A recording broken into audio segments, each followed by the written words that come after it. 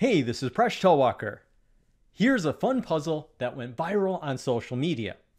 You have a flatbed trailer and you have boxes that are stacked on top of it. From the side, you can see three different rows of boxes. There's a row of seven boxes, then a row of six boxes is stacked on top, and then a row of four boxes is stacked on top. From the back view, you can see a grid of three by three boxes, and from the top view, you can see a rectangle of three by seven.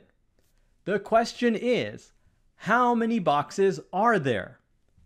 Pause the video if you'd like to give this problem a try, and when you're ready, keep watching to learn how to solve this problem.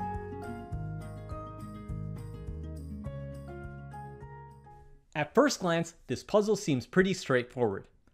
From the side view, we can see the bottom layer has a row of seven boxes. Then, looking at the back view, we see that this goes three boxes deep.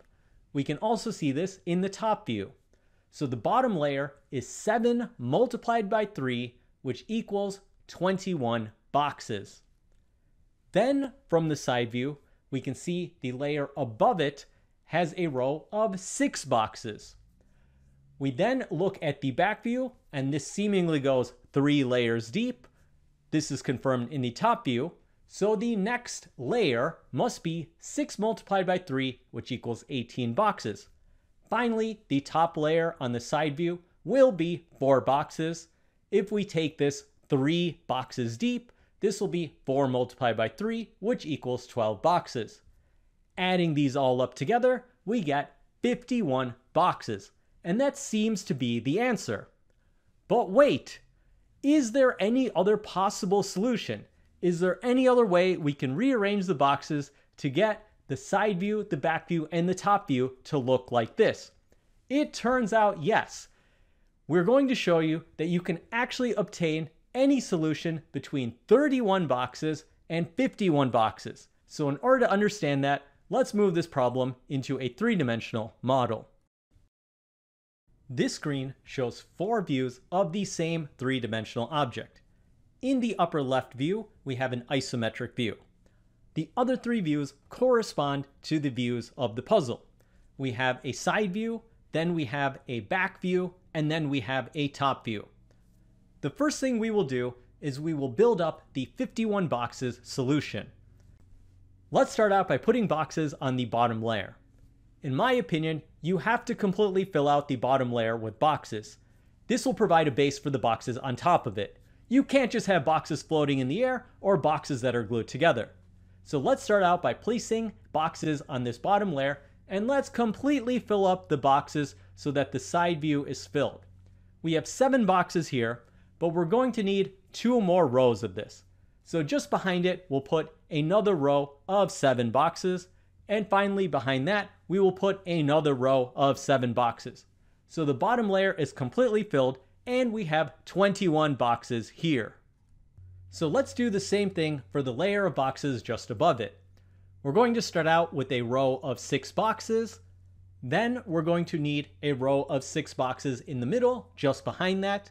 And finally, we will need one more row of six boxes just behind that. That's the second layer, completely filled with boxes. That's 18 more boxes. So let's start out by putting a row of four boxes on the top layer. We then need a row of four boxes behind that, and we will complete the solution with four more boxes. This illustrates the 51 boxes solution.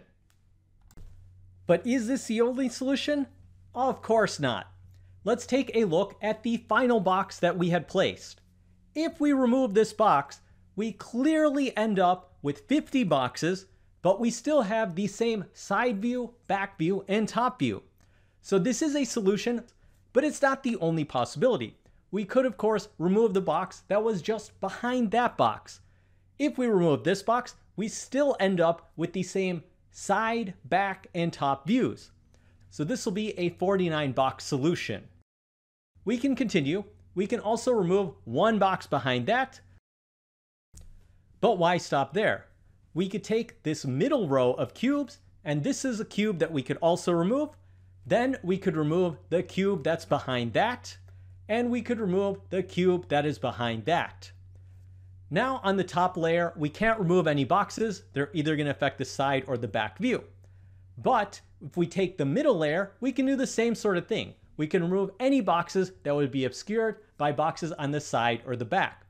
So if we were to take a box from this middle layer and remove it, we would end up with another solution. We can continue the process. We can remove any of the four boxes that are behind the box we just removed and we would still end up one by one generating solutions. We can do the same thing for this middle row of boxes in the middle layer. We can remove up to five boxes without affecting the side or the back view, and we would still end up with solutions.